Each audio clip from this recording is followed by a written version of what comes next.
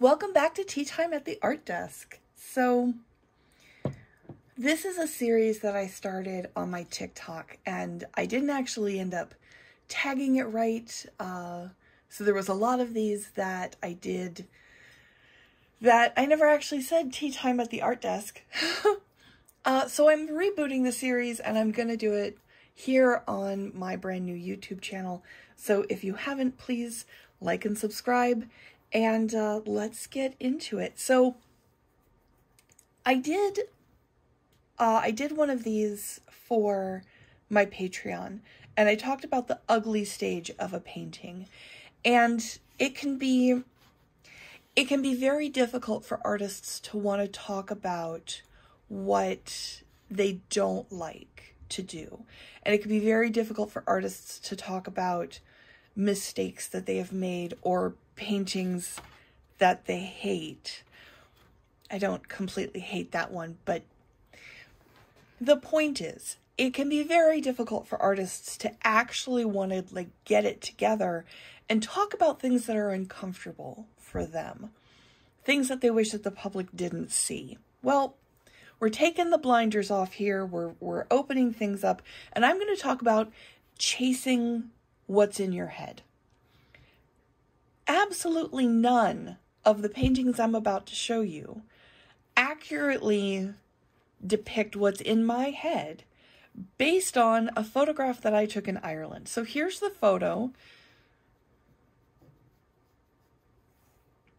And you can see they're not far off. This is the first in the series that I did. The sky is all wrong. The tree is not horrible, but I don't know what happened with this over here. And the grass is not terrible, but it's not right. I did this one next. The sky's a little bit better. The tree's a little bit better, but the ground is awful. This is the third one that I did. It's, again, not terrible. It's not right. So then I took a year off of this one, came back and did this one next. Changed the layout, uh, went went portrait the way the actual photograph is. Um, centered the tree, took out a lot of the background, and um, yeah, I managed to not like this one either. So then I was like, okay, well, let's go really minimal. Let's go really minimalist and just let the water do what it will. And I gotta say, I love the background in this one. Um, I love the way the, the paint played over the surface of the water down here. How the how the ground caused that that um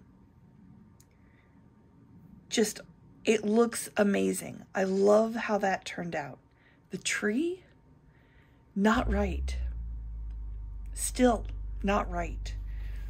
So I tried it again. And this time I just, I said, you know, screw it. The background is going to be whatever the background is. And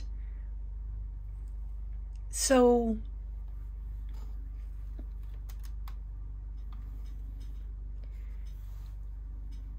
it's better but it's still not right. It's still not what I had in my head.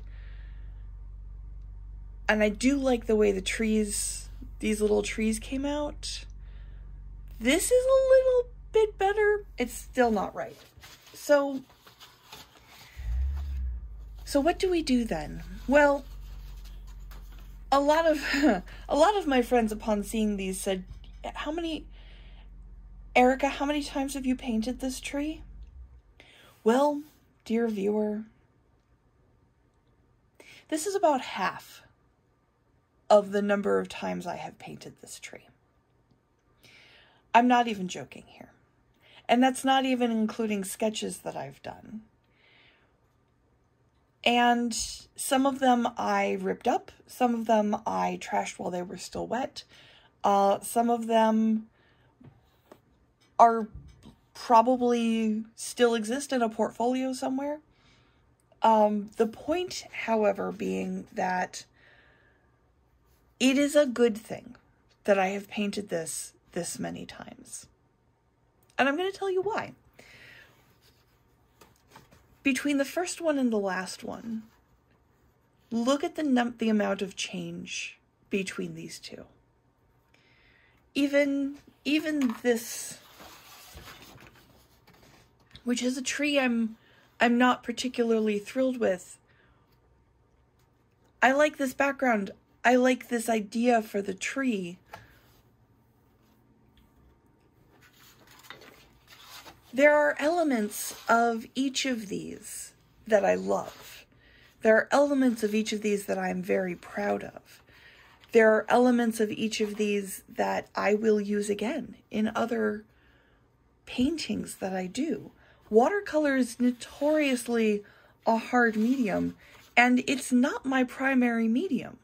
If you've watched any of my any of my TikTok, then you'll know this is not my primary medium.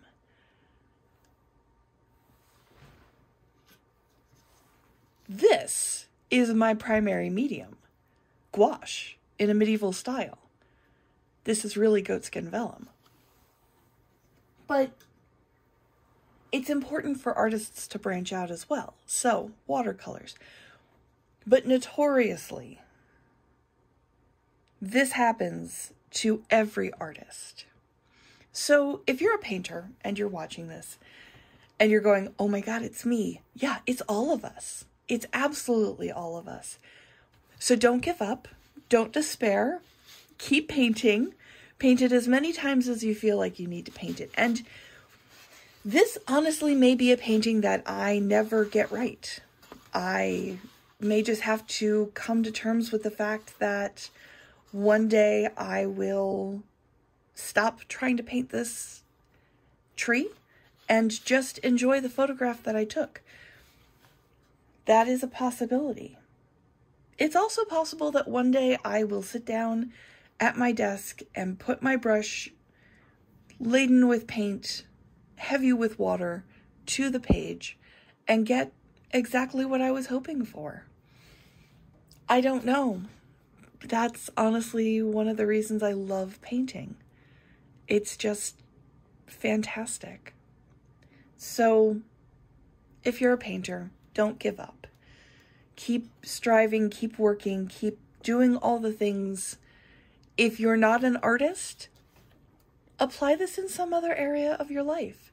There's a skill that you've been wanting to learn that's really giving you troubles keep trying at it. Don't don't give up. Anyway, thank you for having a cup of tea with me, and I will see you next time. Don't forget to like and subscribe so you get that notification every time I post, and welcome to the art desk.